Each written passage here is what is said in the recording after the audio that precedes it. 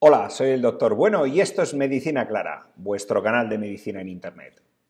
Hoy de lo que os vamos a hablar es de los cuatro mejores tratamientos y los que han demostrado su eficacia para evitar barra retrasar la alopecia. Es decir, para retrasar sobre todo la calvicie, el llegar a estar calvos. Y en el caso de que ya estemos, veremos cuál es el tratamiento definitivo y mejor. Y ya os digo, el que ha demostrado la eficacia. Porque hay un millón de productos y un millón de, historietas por ahí por internet que la gente le da millones de vueltas. Y si veis nuestro vídeo sobre cómo se produce la alopecia, pues veréis sobre ello. Así que hoy lo que vamos a hablar son de los cuatro tratamientos que están testados científicamente y que han demostrado su eficacia a lo largo ya de varios años. Entramos en materia. El primero de todos y el que más eficacia ha demostrado es la finasterida, ¿eh? el finasteride. Eh, esto es un inhibidor de, una enzima que tenemos que es la 5-alfa reductasa y entonces se utiliza para la hiperplasia benigna de próstata y además para frenar la calvicie. Ojo, que no es para que salga más pelo, sino que en pacientes entre 18 y 45 años, que es cuando mejor hay que tratarlo, lo que hace es que en vosotros jóvenes que veis que se empieza a caer el pelo, lo que hace es que si tomáis este fármaco va a producir que se retrase la caída del cabello. Muy importante, ¿eh? no, no, te va a producir pelo, retrasa y frena la caída del cabello. ¿Cuánto tiempo? El tiempo que lo utilices. ¿Cuándo se notan sus efectos? a partir de los tres meses. ¿Cuándo se alcanza el máximo? Sobre todo al año. Ojo, porque estos tratamientos no están exentos de efectos secundarios. Ya os digo que es un tratamiento médico y como hemos empezado el vídeo, que se utiliza para la hiperplasia benigna de próstata. Por lo tanto, si tú eres un tío de 25 años, pues no tendrás hiperplasia benigna de próstata y el finasteride no te lo podrás tomar a las dosis para la, la hiperplasia. ¿Cuál es la dosis para la alopecia, es decir, para la calvicie? Pues es de un miligramo, entre 1 y 2 miligramos, pero generalmente con un miligramo. Y se toma una pastilla diaria.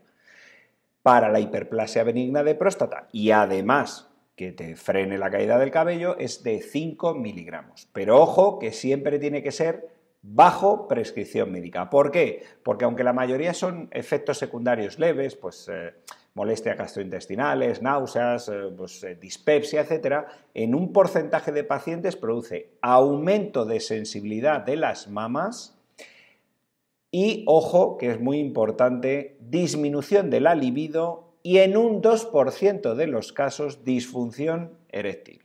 ¿De acuerdo? Es decir, que Así que, ojito, no lo toméis por vuestra cuenta, porque lo mismo, no se te cae el pelo, pero no se te levanta. ¿De acuerdo? Así que es importante que sea bajo prescripción médica. Como habéis podido entender, no es no se puede dar para las mujeres, ¿de acuerdo? Entonces decís, oye, vosotras, oye, pero a mí se me cae el pelo, o lo tengo muy débil, o tengo poca densidad, ¿qué tratamiento puedo utilizar? Pues el segundo de ellos, que es el minoxidil. El minoxidil se puede emplear tanto en hombres como en mujeres. ¿Cómo se emplea? generalmente en loción, mientras que la finasterida es en pastillas por vía oral, el minoxidil es en loción capilar.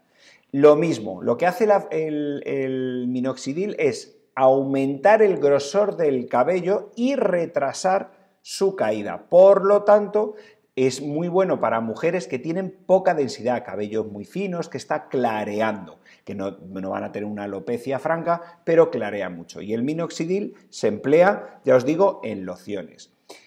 ¿Cuánto hay que emplear de minoxidil? Todo el tiempo que se quiera mantener, porque en el momento que se deja de utilizar, volvemos al pelo fino, quebradizo y a la caída del cabello.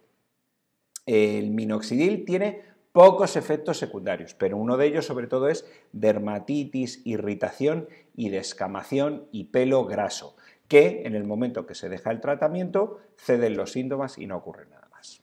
Tercer tratamiento, el plasma rico en plaquetas. Estos son de los más novedosos junto al empleo de ampollas vitamínicas para el uso del cabello.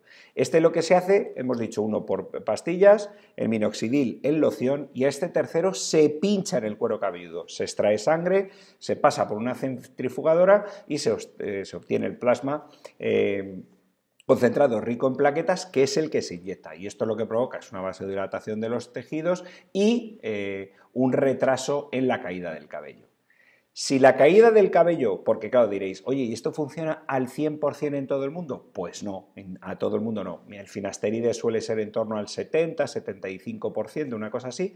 El minoxidil sí que suele ser eh, más genérico, eh, alcanzando entre el 80, pero eh, eh, es solo para el aumento del grosor y el plasma rico en plaquetas todavía nos faltan estudios a largo plazo, pero está en torno al 50%. ¿De acuerdo? Lo que pasa es que es más natural y tiene muchos menos efectos secundarios al ser eh, de tu propia sangre.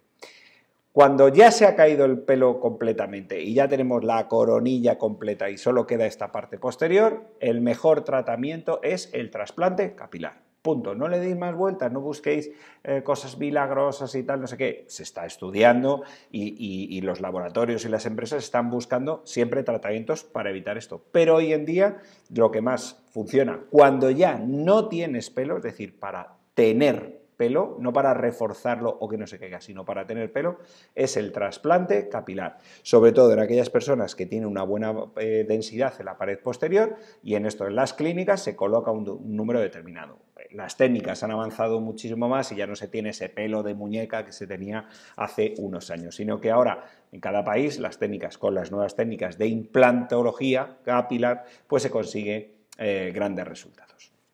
Y nada más, hasta aquí lo que os quería contar sobre los tratamientos efectivos para la reducción de la calvicie, eh, para retrasarla, disminuirla y en aquellos casos que ya la tenéis, el tratamiento FETEN es el implante capilar. Si os ha gustado el vídeo, por favor compartirlo en las redes sociales con familiares y con amigos. Yo soy el doctor Bueno y esto es Medicina Clara, porque una medicina comprensible es posible y necesaria.